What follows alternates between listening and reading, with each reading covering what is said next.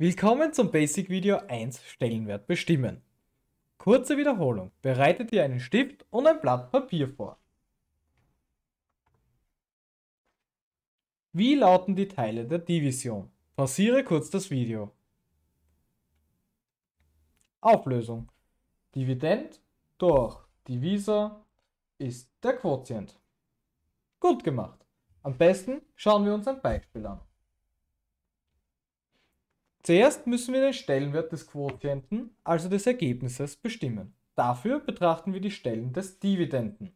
Hinten sind die Einer, dann die Zehner und dann die Hunderter. Du beginnst dich bei der höchsten Stelle des Dividenden zu fragen, wie oft passt der Divisor in die höchste Stelle. Bei unserem Beispiel würde das lauten, wie oft passt 2 in 2. Wenn das höher als 0 mal ist, dann kannst du ein Häkchen setzen. Hier setzen wir das Häkchen bei der 100er Stelle und machen nach dem Gleichheitszeichen einen Punkt für das Häkchen und einen weiteren Punkt für jede Stelle, die nicht unter dem Häkchen gelandet ist. Also hier wären das zwei weitere Punkte.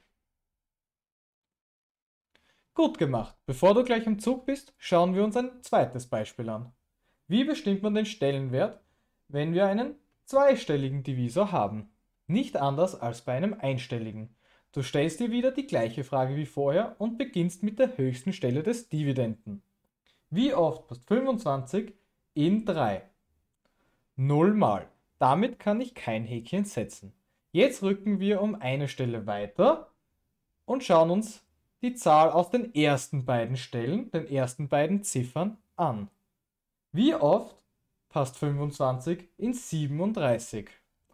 Einmal. Also muss das Häkchen über die 100er und die 10er Stelle gesetzt werden. Du machst nach dem Ergebnis einen Punkt für das Häkchen. Und einen Punkt für jede weitere Stelle, die nicht unter dem Häkchen ist. Nun bist du an der Reihe. Bestimme den Stellenwert der folgenden Aufgaben. Pausiere das Video. Schummeln hilft nichts, damit beschummelst du dich nur selbst. Zur Auflösung. Hier geht 2 in 3 einmal. Also ein Häkchen und zwei Punkte.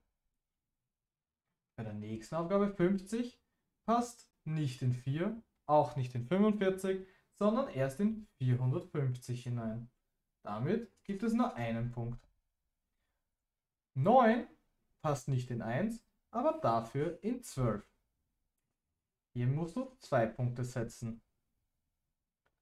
12 passt nicht in 7, dafür aber in 76. Hier musst du dann einen fürs Häkchen und zwei weitere Punkte setzen. Gut gemacht. Wenn deine Lösungen richtig waren, können wir schon zu rechnen beginnen. Rechnen werden wir im nächsten Video.